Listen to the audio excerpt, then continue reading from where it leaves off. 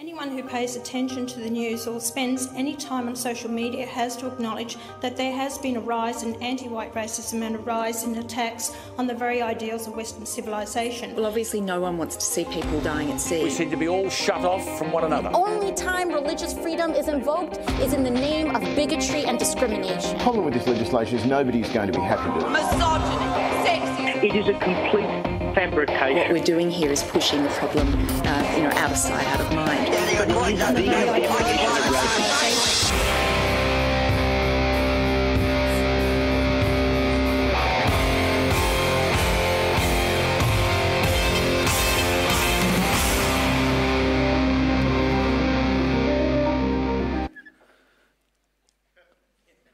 This is going to be fun. Who is looking forward to this series? Who's a little nervous? That makes two of us. I think they say you shouldn't talk about religion and politics. For the next 12 weeks, we're going to be doing both. So it's great to have you guys here. Today, my hope uh, is to give us something of a cultural landscape. Uh, it's going to feel a little different. We're not unpacking any particular passage in the Bible, but instead, it's my desire to, to prepare the runway with a bit of a cultural and biblical foundation. And as I was thinking about today, I was, I was taken back uh, to a key moment in 2017. Now, 2017, it's a big year uh, for our world. Uh, it is, of course, the year that we were introduced to a BBC journalist uh, who was doing a live cross about Korean politics when his two toddlers stormed on in and a desperate uh, wife tried to save the day. Funniest thing the BBC has ever produced. Uh, 2017 was also the year that Warren Beatty announced uh, the Oscar for Best Film to La La Land only to realize he'd been handed the wrong envelope, and the winner was, in fact, Moonlight. Uh, speaking of mix ups, uh, 2017 was the year that took many people by surprise as Donald Trump was inaugurated into the White House. Uh, of course, Trump had his many critics. Uh, people were fearful, weren't they, of him inciting violence, and there was no shortage of social commentary uh, drawing comparison between his bullish leadership and that of Nazi Germany. But in defense, Frankie Boyle pointed out that Trump is nothing like Hitler. There's no way Trump could write a book. Here in Australia, the Richmond Football Club won the flag for the first time, I think, in 35 years. Pauline Hanson made headlines again for wearing a burqa in Parliament. And 2017 was also the year that the Bible Society celebrated its 200th anniversary.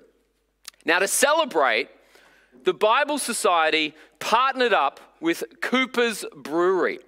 Uh, Cooper's is a family owned business in South Australia, uh, and they offered to produce 10,000 beer cans with Bible verses printed on them right? As someone who planted a church in a pub, who apparently did uh, communion on tap, uh, I was very into this, thought it was sounding kind of cool, but then things took a surprising turn.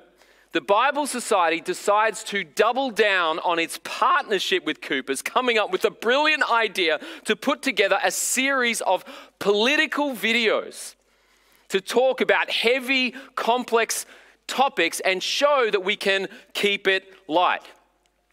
Uh, how many of you guys remember this? Right, so here's uh, in the middle there a rep from the Bible Society. On the right, you have Andrew Hastie. On the left, uh, you have uh, Tim Wilson, uh, both of which are from the Liberal Party, and they're keeping it light while discussing uh, views on marriage equality ahead of the plebiscite that same year. Andrew on the right, uh, holding a more conservative view on marriage.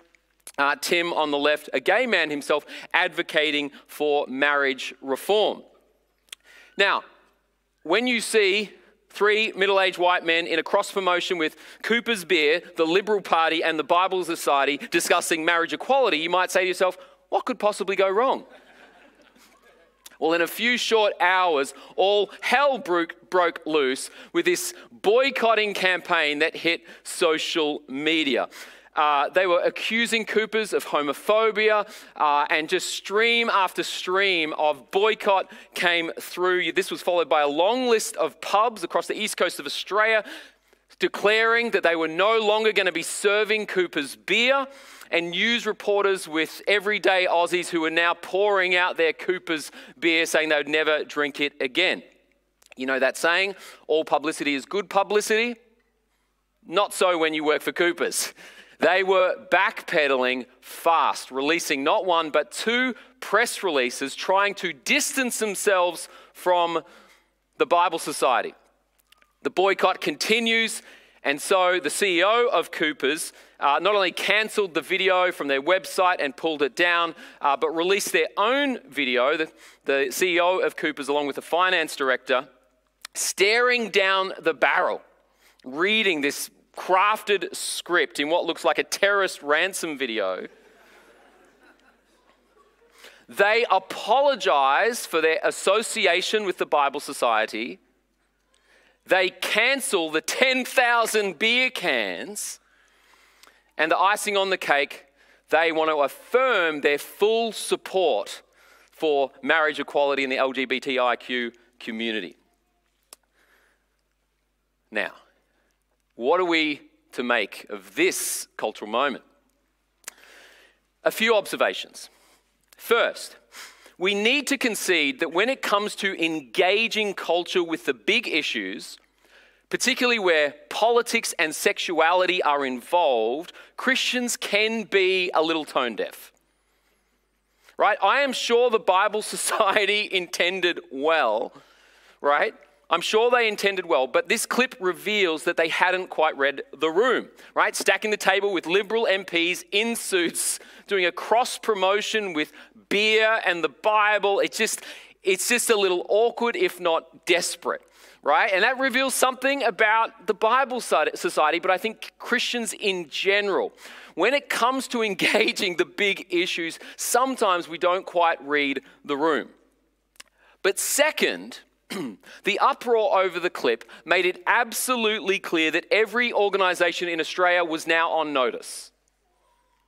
If your business failed to wave the flag and get behind marriage equality, you could and would be cancelled.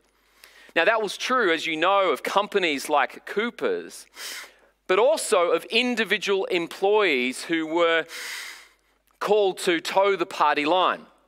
Uh, if, if, you worked for Qantas, if you were an AFL footballer, if you were a teacher in the public education sector, it, you didn't just need to understand and even respect the views of others, you needed to wave the flag and wear the badge.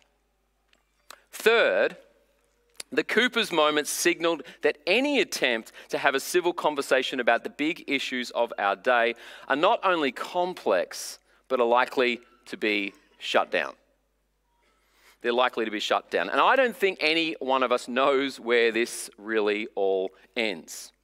Was the Cooper's backlash just a case of bad marketing, uh, a PR disaster? Or is it a sign of things to come?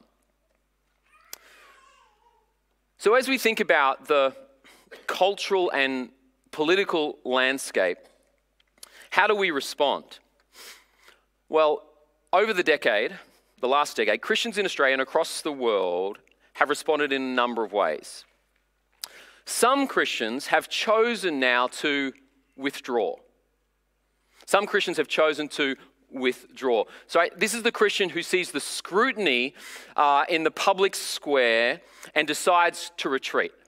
They don't want to have any part of the conversation. They don't want to talk politics. They don't want to be part of the discussion. In their eyes, the world is now a sinking ship. It's time to jump overboard and swim to shore.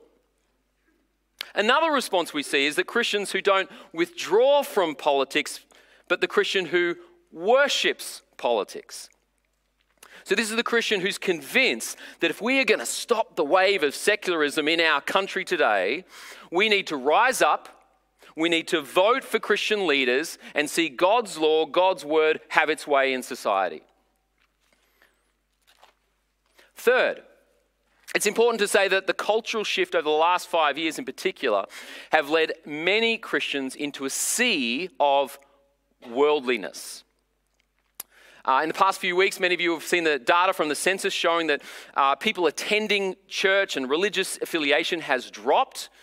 But we need to go a little bit deeper there and recognize that it's not just that people are distancing themselves from the church, but the views within the church are starting to change. Um, for example, uh, there was a Pew study uh, looking at what Christians believe about same sex marriage. And I'm using that example again because we're not actually exploring that particular issue in this series. But here's what we discover. In 2007, when we planted this church, less than 10% of all church going Christians supported same sex marriage. 90% of people going to church said, no, no, no, no, marriage is between one man, one woman, that's it, right? By the time we celebrated our 10th anniversary as a church, 37% of people going to church were supportive of same sex marriage. The number even higher if you're in the younger generation, which was almost 50%. So you ask yourself, well, what has changed? The Bible? Has the Bible changed? No, of course, culture has changed. And more and more, we're seeing Christians looking towards culture for their world view. And fourth, and perhaps, perhaps most notable of all, is not the response of uh, withdrawal, worship, or worldliness, it's the response of war. Our culture is not only increasingly political, but incredibly divided. Uh, this is where uh, COVID was fuel to the fire right? Politics was moving along and, and, quite hostile. You had the you know, inauguration of Trump, you had race riots in, in, the, in the globe. Then all of a sudden, COVID landed in the midst of that. We lost control, we didn't know where we were going, we were afraid, we were scared. And for many people, we didn't know what to do with that angst. Uh, and that showed itself not only on our social media and, in, and, and on our streets, but it also seeped into the church. I remember uh, heading to the medical clinic at, uh, I think it must have been earlier last year with Ness to get our first vax. Uh, not the most romantic date we've ever had. Um, but I decided to capture the moment on Instagram. At the time, at the time, conversations about vaccines hadn't really come into full swing. And I can just tell you, I was not intending to make a political statement, right? But within seconds of it going up online, my inbox was just lit up with a whole bunch of commentary. Uh, some people, like, yeah, thank you for cheering on the cause. We need more of this. Uh, other people who called me a complete sellout. Uh, you're leading the church into destruction. Uh, now that you've had the vaccine, your DNA has changed. You're no longer part of God's creation. You're no longer going to heaven. Uh, someone within our church, a lady and family, uh, been coming to the church for a long time, says, We love the church, love the teaching. Seeing that, I'm leaving, I'm never coming back. Uh, and, and you need to appreciate that, that that kind of response and happening all around the world right now. Uh, people used to view their politics through the lens of the Bible. In our day, people look at the Bible and choose their church through the lens of politics. So, how am I feeling about this series? I do approach this series with a sense of trepidation. Uh, these are big, complex topics, important topics we're looking at. And there are a bunch of landmines that I am sure I'm going to step on a few along the way. Uh, but I want you to know that I'm optimistic. Uh, I'm, I'm encouraged. I'm very much looking forward to this series because it's an opportunity, isn't it, to, to get out of the echo chamber, to learn new things uh, Lord willing, hopefully work out how can we have conversations about big issues in respectful, loving ways. and of course, the reason I'm most excited about this series is because it gives us an opportunity to set our eyes on Jesus. Amidst the cultural and political climate that we find ourselves in, marked by so much angst and division, I'm convinced that in Jesus there is a much, much better way. In Jesus there is a much better way. Next week, we dive into the 10 top issues as voted by you, uh, beginning with transgender rights. So very important for us all. Encourage you to be there for that. Uh, bring your work colleagues, bring your friends as we seek to grapple with what is a very significant question. But first, today, I, I want to lay out for you uh, four principles for this series ahead. Uh, my hope is that these will help us navigate this series, but give you a little bit of a sense of our hope and our vision. All right, so for those of you taking notes, here's the first one. For me, um, number one, it's important we understand the left and the right and why we may need both. It's important we understand the left and the right and why we may need both. So, many of you may know that the story of left and right actually originates in France in the summer of 1789.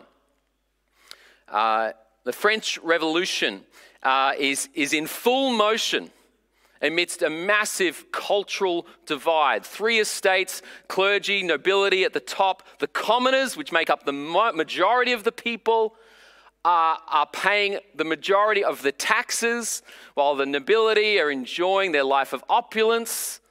The peasants are starving. Uh, this, this, is the background, of course, for uh, Marie Antoinette's famous quote when people come to her and say, Oh, the peasants are starving, they have no bread. What does she say?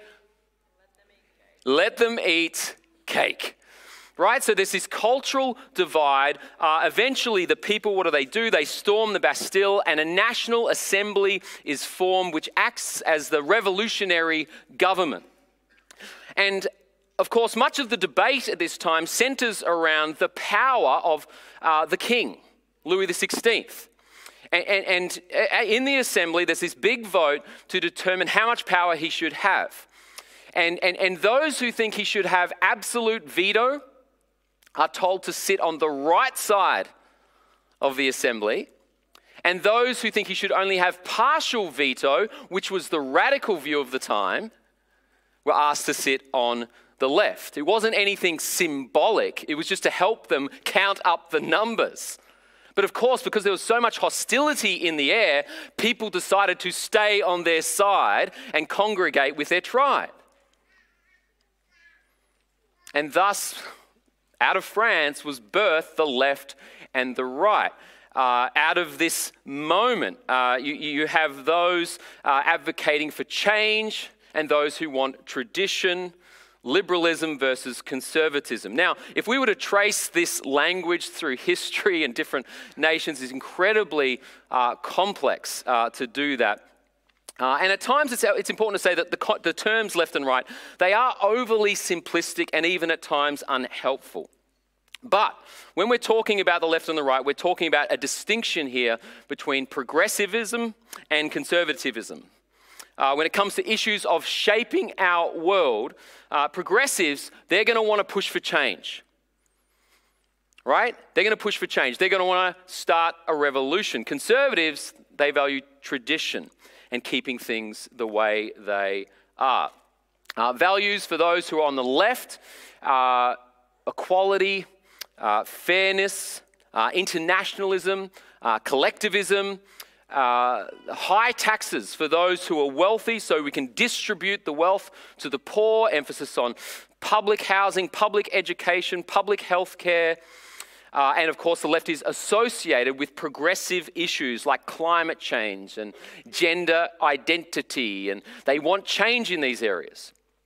In our context, the Labor Party would be considered centre left. Uh, if you wanted to go further left, uh, you'd probably be in the Greens Party.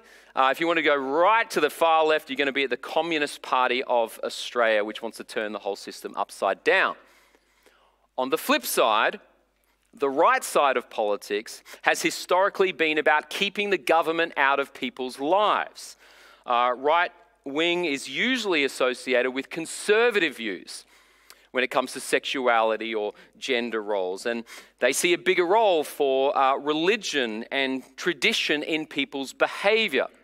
They value the, the freedom of each individual and want to reduce taxes and reduce red tape for big companies. In our context, the Australian context, the Liberal Party would be associated with centre right. Uh, if we would go to far right, we'd be the Australian First Party. If we want to go even further right, we'd be at Pauline Hanson's One Nation Party, who oppose vaccine mandates, advocates for Australia's withdrawal from the Paris Agreement on climate change. They are pro life, pro guns, and for the Canadians among us, pro cannabis. Now, I hope you can realize that when we talk about left and right, very few, if any, fit squarely into one category. For example, you might have somebody who migrates to Australia who is very uh, passionate about race relations, right? Which would lean them a little bit more on the left side of things. But they might also have very traditional views when it comes to gender roles, which would place them a little bit on the right. Uh, similarly, you might have uh, someone who uh, doesn't like governments playing a big role in our life, particularly when it comes to, say, freedom of religion, uh, which would position you more on the right, and yet they may despise aggressive nationalism, which positions them on the left. Uh, in addition, it's important to acknowledge that there are underneath all of these policies moral ideals on each side of the, uh, the, the political spectrum uh, many of which that are helpful and that we need to actually hold together. For example, uh, psychologist uh, Jonathan Haidt points out the helpfulness of progressives who tend to challenge traditional authority because, when pushed to the extreme, traditional authority can be quite restrictive and even repressive, particularly for those who are at the bottom end. By contrast, Traditionalists value history and order.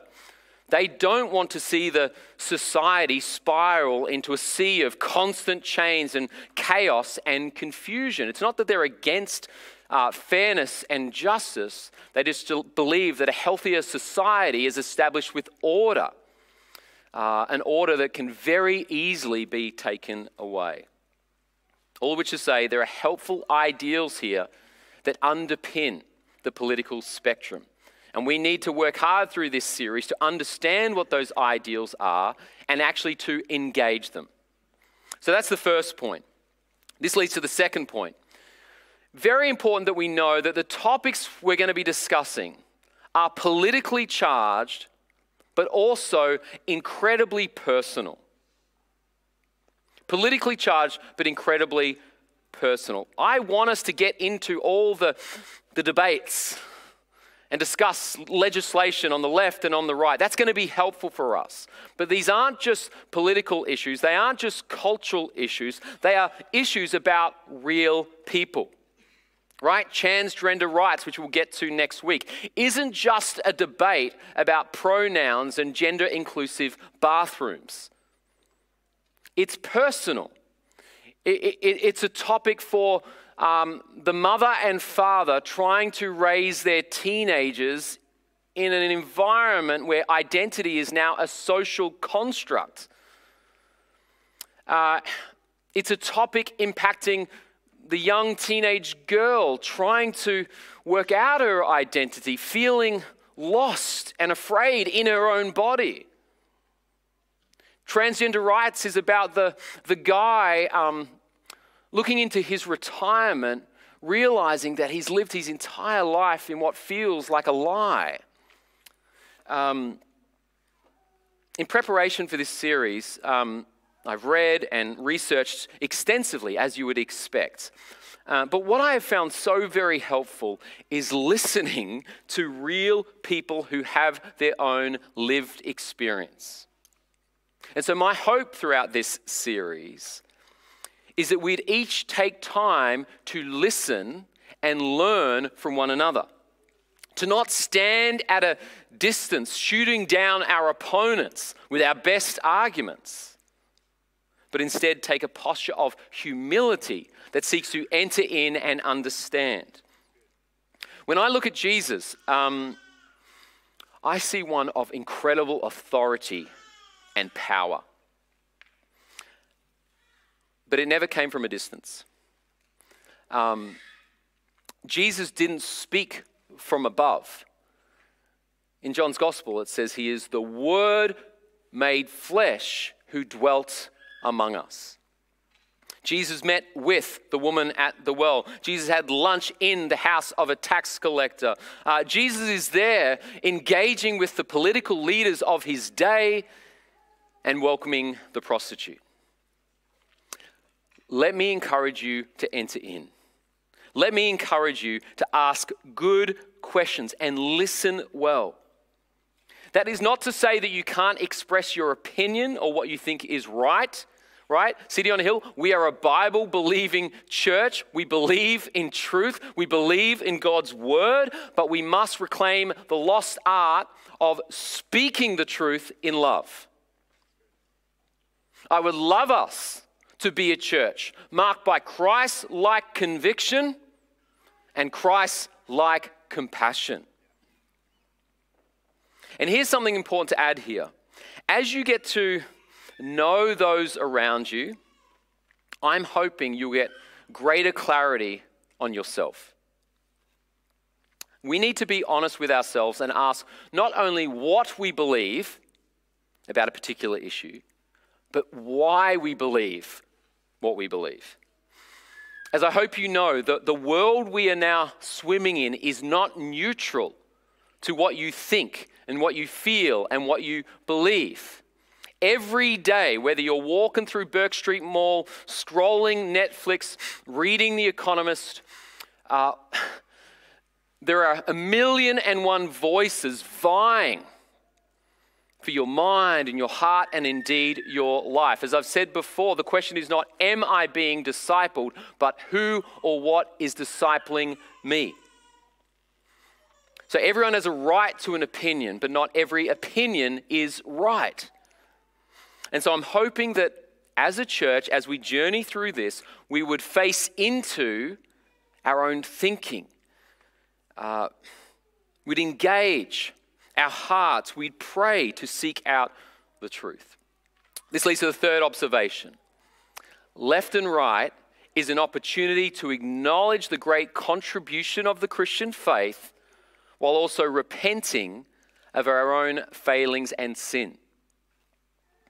Uh, Billy Graham is a great hero of mine and many others, of course, um, regarded as one of the greatest evangelists uh, our world, our generation has ever seen. And yet, it's important to acknowledge that Graham grew up in uh, America's South that was strictly divided uh, by race and injustice that caused harm to so many, many people. And, and there's so much commentary on, on Graham's response to this. Some people commend Graham because when he was preaching in the South, he, he wouldn't allow segregation. And they acknowledge that. But there's a huge sweep of commentary that says that actually, when it came to the civil rights movement, he was a coward. Uh, some say that his nods to racial tolerance uh, were token at best. Uh, he chose not to march with Christian leaders and refused to confront issues head on.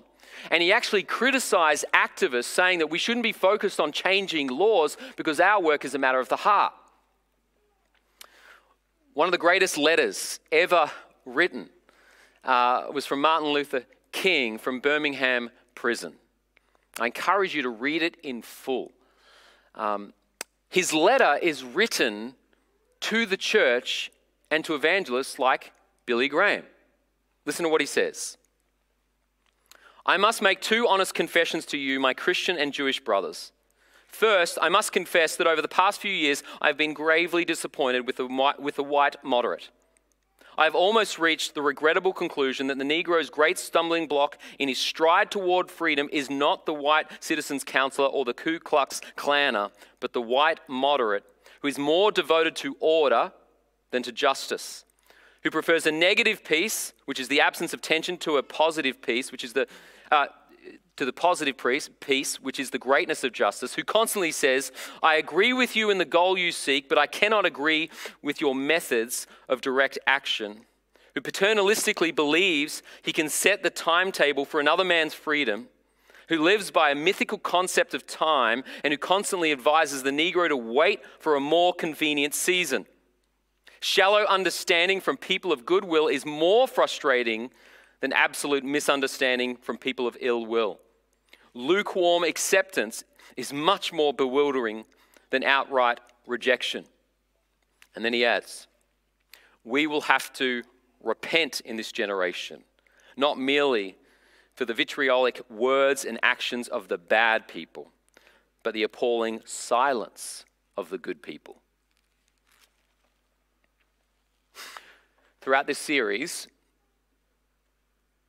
as we consider our past, and indeed our present, we, in God's grace, will be comforted and there will be times where we are confronted. Um, there is much the Christian church can give thanks for. So many great moments of courage and sacrifice and light and love. But can we accept good without also acknowledging our evil? Can we pat ourselves on the back while also being blind to our own evil and silence? One of my observations about this political age is acknowledging that the church has become incredibly good at calling out the twig in the eyes of the world while not seeing the log that is in our eyes. Uh, when Disney, for example, uh, announced they were looking to include gender non conforming characters, the church was in arms. Rallies were held at the front of Disney with posters and boards and people screaming. And yet, as commentators have pointed out, this is the same church that has been silent about our own financial corruption and misuse of power. These are the churches that stood in silence through decades of abuse. And here they are, up in arms because of a diversity policy at Disney. In the words of Jordan Peterson, if you can't clean up your own room, who the hell are you to give advice to the world? You want to know what's fascinating about Jesus? He opposed evil and was never afraid to call out sin. But you are going to find it, you're going to be hard pressed to find him railing against the world. He flips the table on the religious folk, folk who had turned the temple into a den of robbers. He called out the Pharisees for their religious hypocrisy. He challenged the scribes for the distortion of the law. But what do you see when it comes to his engagement with the woman caught in adultery? What do you see when he's talking with the tax collector and the drunk? How do you see Jesus when he views the prodigal son who was lost in a sea of sin and mess? In Jesus, you encounter the friend of sinners. As Jesus himself said, I didn't come to condemn the world but to save it. And so, if you've come to this series expecting 12 weeks of grandstanding, 12 weeks of us railing against the world, I have to say you're going to be bitterly disappointed. Now, are there things in our surrounding culture that are at odds with God's good design? Absolutely. But it's my desire, and I believe duty, to first take out the log in my own eye. As the Apostle Paul said, What business is it of mine to judge those outside the church? Are you not to judge those inside? Fourth and final point don't go left, don't go right, go deeper. There's this incredible moment in the Gospel of John uh, Jesus is followed by a huge crowd. Some say like 10,000 people. They've heard about his miracles, they've got glimpses of his teaching, and they're out there, families, people, they're, they're all there and they're following him. They're following him for so long that they get hungry, they get thirsty. And so, what happens? A little boy comes to Jesus with his lunchbox. What does Jesus do? Jesus transforms the fish and the bread and makes this abundant feast to feed the crowd. And many people, of course, have looked at this and thought, wow, see the compassion of Jesus. He cares for us all. He wants to meet our physical needs. He's, he's marked by compassion, and that's certainly true. But then something remarkable happens. After the bread is broken, Jesus looks out on the crowd and he begins to teach. Uh, and as Jesus is teaching, he works incredibly hard to help the crowd realize that their hunger, their true hunger, is not actually food. Their true hunger is not water or bread. No, our ultimate hunger is not physical, but eternal and indeed spiritual. Now, we need to appreciate that when we're talking about 10,000 people that Jesus is talking to, that they're living at the height of the Roman Empire. And so among the crowd, you have loyalists, people who will take the hill to support Rome, and you have people in the crowd who want to take Rome down by force. Uh, you have some people uh, who would have leaned left politically, and others who would have leaned right. Uh, you have some in the crowd who would see themselves as very religious, worshipping God, or in fact, many gods. And you would have people in the crowd who didn't worship any gods. You would have had introverts and extroverts, men and women, young and old. You would have had people who were heterosexual and many perhaps who were practicing homosexual. You'd have people who led very wild lives, and you would have had accountants.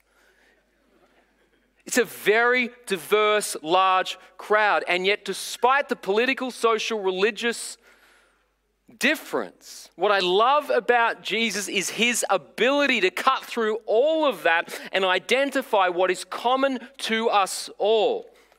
That under all of our longings, under all of our searchings, is a deep hunger for meaning a great thirst for significance and hope. In the ancient book of Ecclesiastes, the writer says that God has placed eternity on the hearts of us all. In other words, every day that we wake, we are awaking with an eternal longing. We, we long for eternal meaning right? Doesn't matter where you land on the political spectrum, we all arise each day looking for lasting significance, right? Lasting truth, lasting purpose, lasting love. We arise every day seeking these things. And this is why, culturally, we can throw ourselves so deeply into relationships. It's why we can throw ourselves so deeply into our careers. It's why so many people throw themselves so deeply into their politics.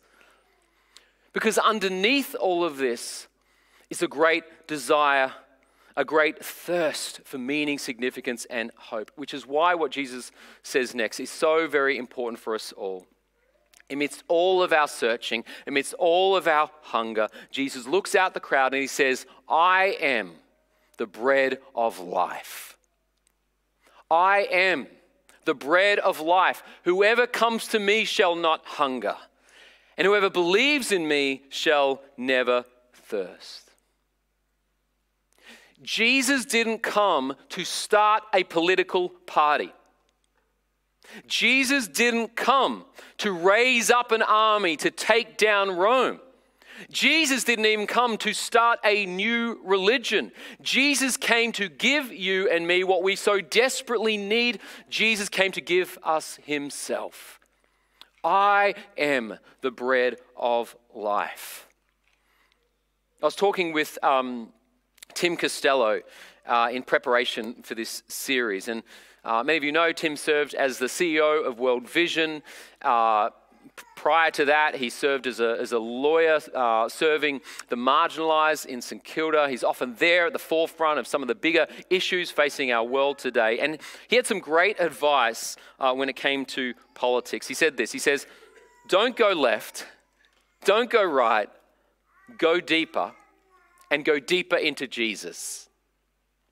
He says, Those on the left will pick out all the Bible verses about justice. Those on the right will pick out all the Bible verses about personal morality, family, and marriage. Actually, the Bible speaks to both. It doesn't go either left or right, it goes deeper. And that's what I call people to do. So I want to be completely honest about the intentions of this series. City on a Hill, we're not here to start a political party. That's not the agenda. Uh, I actually have little desire to tell you who you should vote for, or even which of those 10 issues are the most important. But I am here to help you see the truth of Jesus, the beauty of Jesus, and the relevance of Jesus for your life. You don't have labor written on your heart. You don't have liberal written on your heart. You have the name that is above every name written on your heart, and that is the name of Jesus. Do I want do I want to play an active role in society? Absolutely. Do I believe Christians should think about these issues and act accordingly? Absolutely. Christianity is not just a thinking, it's a being and a doing. So we don't just exist in this world. Some of us need to rise up and recognize the profound opportunities before you and the gifts that God has given you and to do something with your life and see change. Yes, yes, and amen to that. But if that's not grounded in the meaning and the purpose and the eternality of Christ, it all counts for nothing. So don't go left, don't go right, go deeper as the band comes up, um, here's how I feel we should respond. To start this series, I feel we should share communion together. Um, the Bible tells us the night Jesus was betrayed, what did he do? He took bread and he broke it. And he said, Eat this in remembrance of me. Right? I am the bread of life. And he broke that bread. And when Jesus went to the cross, his body was broken. And then he took a cup of wine and he said, Drink this in remembrance of me and my blood poured out for the forgiveness of sins. In Jesus, there's forgiveness. For the sins on the left, there is forgiveness. For the sins on the right, there is forgiveness. There is freedom and forgiveness at the cross of Christ. There is life in his name. And so we're going to celebrate that meal to remember and give thanks for him. And so whether you come down on the left or you come down on the right, choose your side remember we're coming as one. Let's pray. Father, we thank you for your goodness and your grace. Give us eyes to see, hearts to respond. Center us now on the love we have in Jesus, that we'd be a city on a hill shining his light. Prepare our hearts now Help us to confess our sins, Lord, knowing that your grace is sufficient. Help us to eat this meal in thanks, knowing that Jesus has reconciled all things unto himself. To his glory we pray. Amen.